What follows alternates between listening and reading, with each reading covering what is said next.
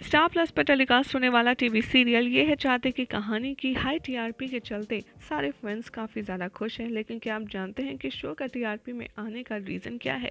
Well सबसे पहले reason की बात करें तो ये है शो की परफेक्ट ट्विस्ट और स्टोरी लाइन जो लोगों को आजकल काफ़ी ज़्यादा पसंद आ रही है।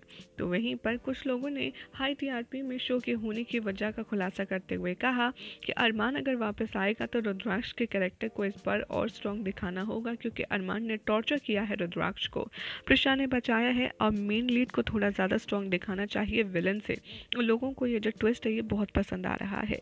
तो कुछ ने लिखा, ये है चाहते शो के टीआरपी ऑलरेडी अचीव हो ही गई है, हमेशा टॉप थ्री में ही रहता है। ये बहुत ही अच्छा शो है। तो कुछ ने लिखा स्टार प्लस के सारे शो मंडे टू फ्राइडे आने चाहिए ताकि स्टार प्लस के जो वीकेंड के शोज़ हैं उन्हें भी हम अच्छे से एंजॉय कर पाएँ जैसे कि नच पलिए दिव दृष्टि सीज़न टू वगैरह वगैरह. तो कुछ ने लिखा वर्ल्ड मोस्ट ब्यूटीफुल शो है ये है चाहते ये मेरा बेस्ट शो है। Thank you so much for giving all the updates तो कुछ ने कहा ये है चाहते शो की टी ऑलरेडी इतनी अच्छी है कि उसे टॉप थ्री क्या बल्कि टॉप वन पे ही रहना चाहिए.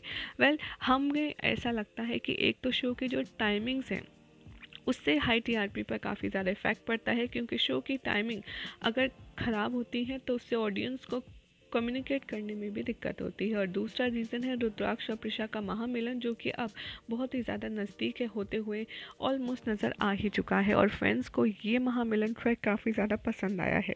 तो इसीलिए शो की टीआरपी काफ़ी ज़्यादा अमेजिंग है। आपको क्या लगता है, किस वजह से हाई टीआरपी शो में बना हुआ है, ये है चाहते कमेंट ज़रूर करें। साथ ही वीडियो को लाइक शेयर करके चैनल को सब्सक्राइब करना ना भूलें।